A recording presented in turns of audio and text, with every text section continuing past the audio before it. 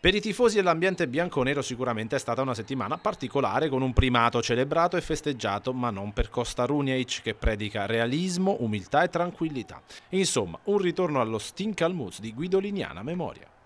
Non abbiamo parlato così, molti, così molto noi, è sicuramente un bellissimo momento, ma dobbiamo essere realistici.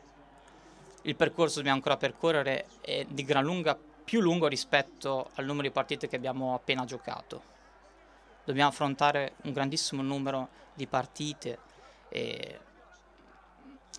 abbiamo eh, Friuli Doc c'è stato un bel evento scorsa settimana, vi era una bella atmosfera nonostante maltempo e noi vogliamo continuare con questo entusiasmo, vogliamo essere ottimisti. E, indipendentemente dalla, dalla situazione esterna, dai risultati, noi vogliamo continuare con il nostro processo. Intanto l'allenatore dell'Udinese pensa a quella che sarà una settimana intensa la prossima con la Coppa Italia tra Roma e Inter, esaltando anche il lavoro di staff per il recupero mentale di alcuni giocatori, Brenner su tutti. Quindi non si tratta di provare o meno giocatori.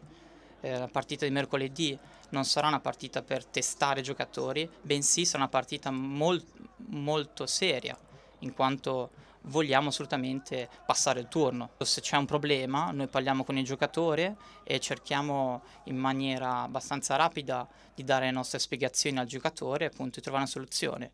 Eh, fino ad ora io sono soddisfatto di come abbiamo lavorato, eh, bisogna dire che vi è molta concorrenza, eh, nessuno può dormire sugli allori e dobbiamo dare eh, gas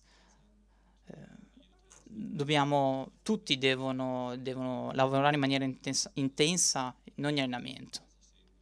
È quello che voglio vedere sul campo allenamento ed è quello che i miei giocatori dovranno mettere in pratica.